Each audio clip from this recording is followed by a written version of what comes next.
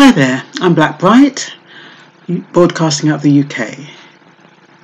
If it's the first time your channel, please subscribe, like, and share.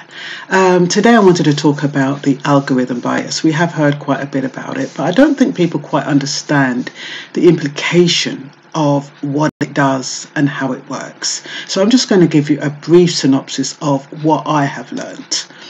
Um, basically, it's a secret. Um, the Home Office is using a secret visa algorithm to process visa applications.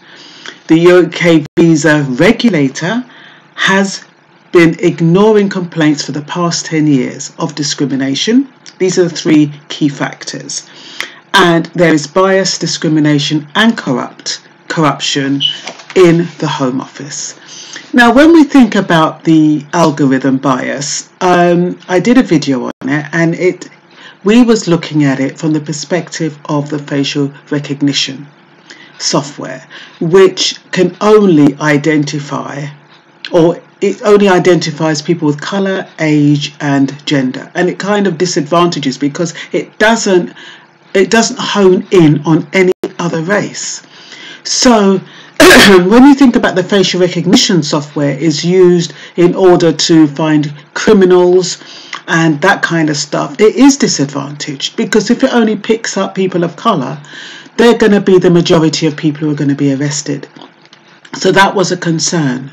But now it's even more concerning that the Home Office use Home Office is using algorithms to process their applications.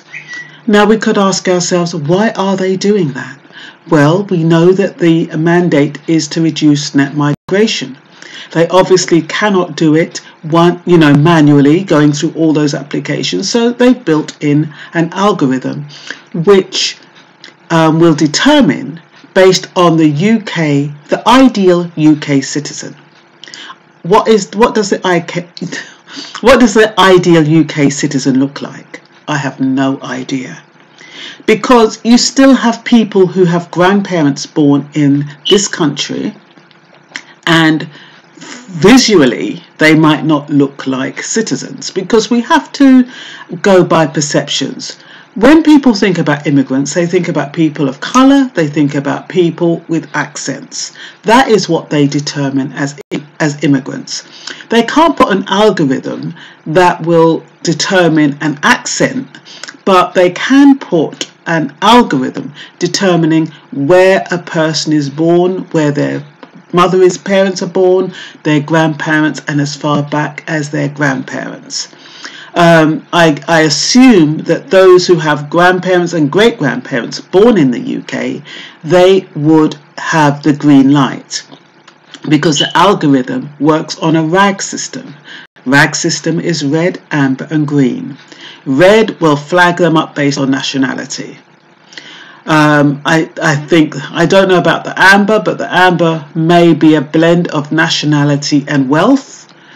And the green would probably be um, the fact that they might have descendants of the UK plus they're wealthy. So those are the only way I can think of how green, amber, and red works, their RAG system. It could work some other way, but it doesn't take away the fact that this discriminatory tool is used to disadvantage people of colour in their applications for a visa. And what is unfair is that these people have already paid their thousands of pounds to have that visa processed, only to have it denied because these algorithms are rejecting them. And this is one of those the reasons those 24 professional doctors and philanthropists and researchers were turned away because who were African and I think that is how it came out mostly because they was wondering why people who are obviously not going to overstay, people who are wealthy, and people who have come here for a conference would be rejected. And this is how they found it out. Anyway, um, I'm just going to give you a brief description for those of you who don't know what the algorithm is, it's used in used in computer science. An algorithm is an unambiguous specification of how to solve a class of problems. The class of problems is, of course, immigration. Immigration, immigration. We have two immigrants, so they stick this, this tool in to see how they can um, diffuse it. Um, through its reported use at the Home Office, an algorithm is in use to determine the qualities of what criteria the ideal UK citizen meets, which to me is white, rich, and famous, maybe. Who knows?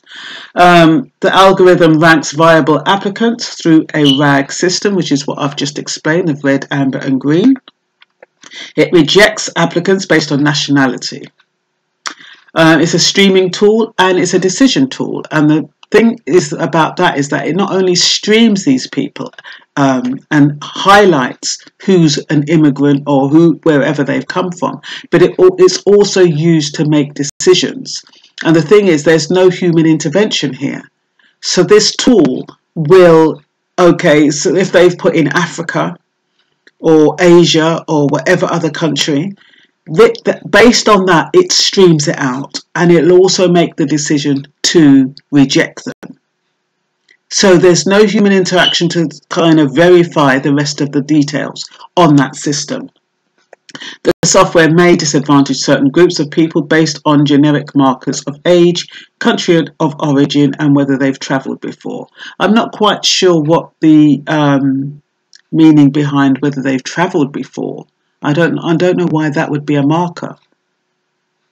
Or does it mean where they've travelled? I, I have no idea. The Centre of Data Ethics Innovation are looking into this. So, like I said, they have had complaints which has been ignored. Um, the UK visa regulator ignored the complaints that have been going on for 10 years about discrimination. And like I said, there's bias, discrimination, and corruption in the Home Office because what's happening is that they're covering it up. So people know what's happening and it's all been covered up. I guess, you know, everybody wants a job. Um, but I don't know how they sleep at nights. Well, maybe, I mean, I, I believe that certain types of people work in these organisations. If they don't fit, they leave. We do know that many have resigned because of the unfair practices in the Home Office, and those who stay, we have to assume, um, condone this kind of behaviour.